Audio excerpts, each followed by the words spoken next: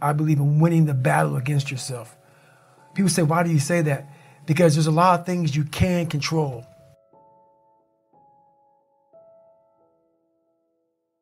When you wake up, I talk about making your bed. Make your bed. Make sure your house is clean. Make sure you get your breakfast. Make sure you shower, shave. Whatever you're doing, control that. Don't hit the snooze button.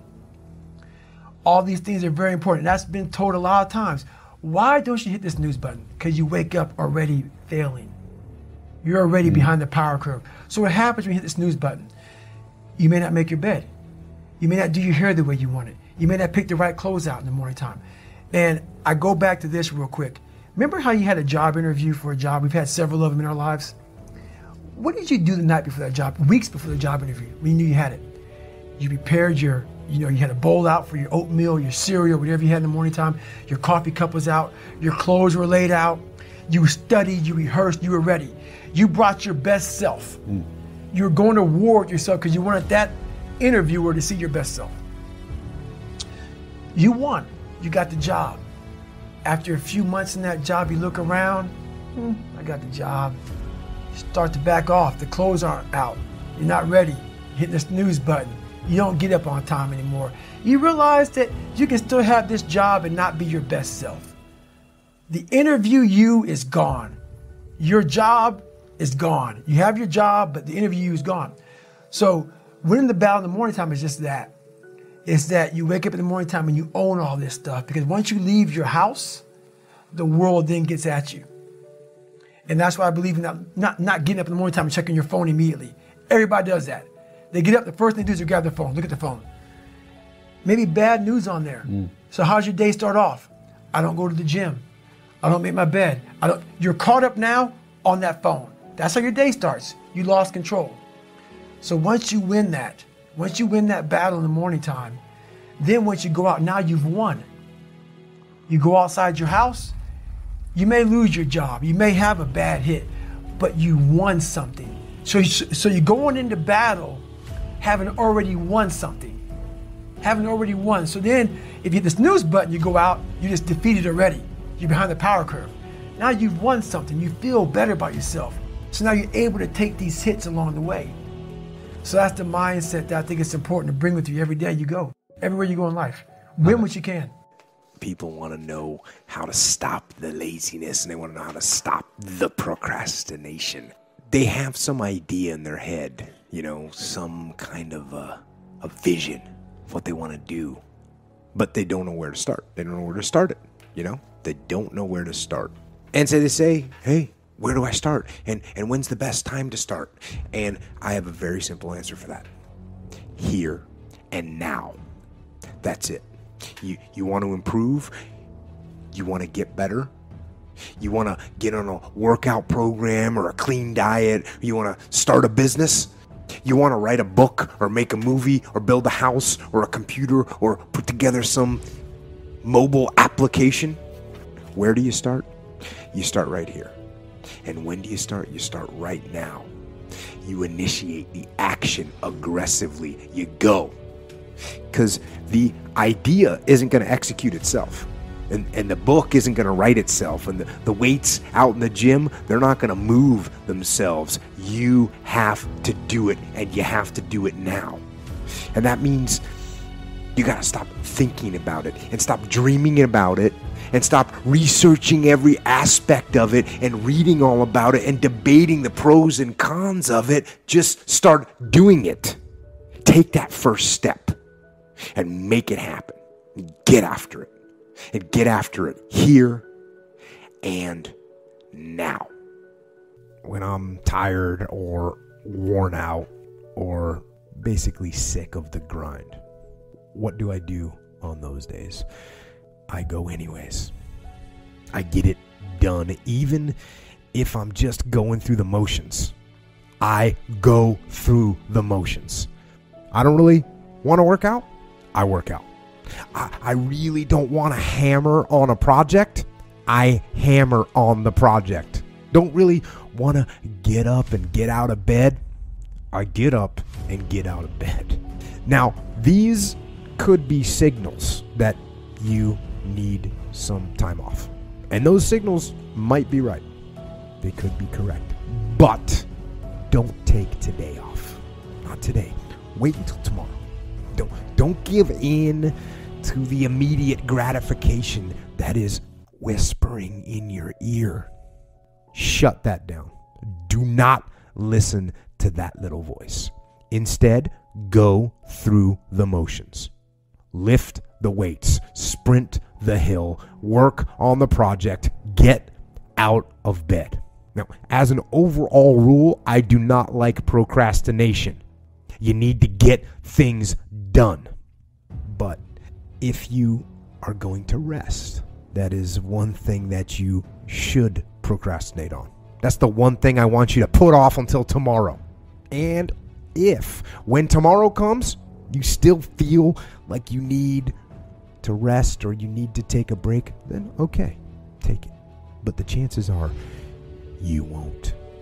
You won't need that rest. Chances are you will realize that the desire to rest was just weakness. It was just the desire to take the path of least resistance, the downhill path, the easy path.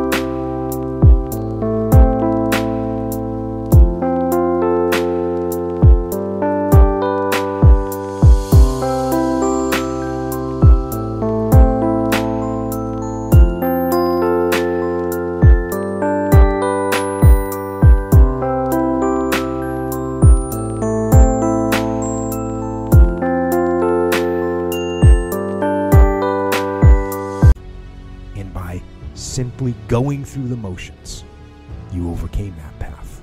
And you stayed on the righteous path, the disciplined path. You stayed on the war path, which is right where you know that you belong. I want you to look at something right now. Think of some major goal you want, or maybe it's one you're already working on and you have experienced a lot of setbacks, a lot of defeats. You've experienced a lot of disappointment. Maybe you've already given up. And maybe you just need a little fire, a little encouragement to get back in the game again. Here's what I want you to look at there are winners, there are losers, and there are people who have not discovered how to win. And all they need is some coaching. All they need is some help and assistance, just a little support. All they need is some insight.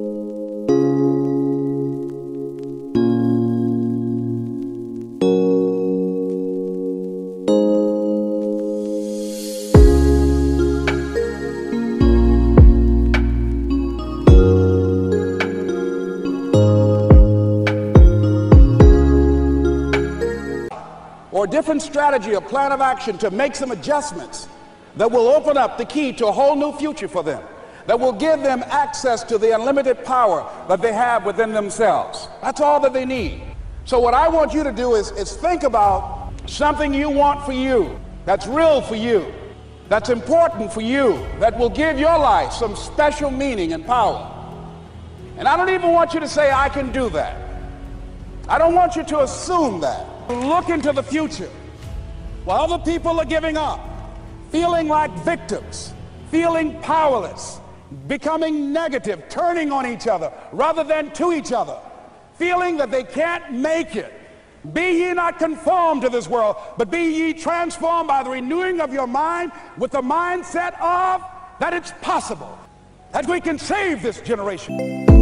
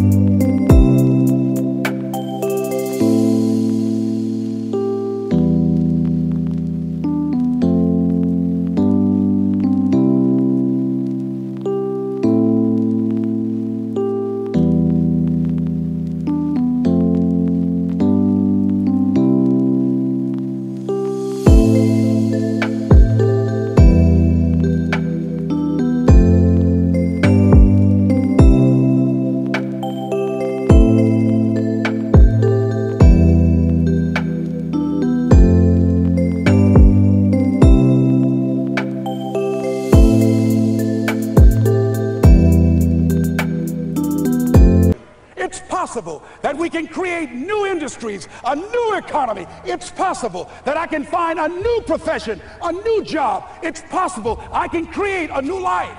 And it's necessary that I become actively involved in becoming a positive force in my life and on the planet. And it's me, yes, it's you, it's all of us pulling together, working together to create this brand new future. And it's going to be hard. Easy is not an option. But if it's hard, we will do it hard. Whatever is required to snatch victory from the jaws of defeat. And it's worth it. Yes, it's worth whatever we have to do. And once we know that, it is done. It is done.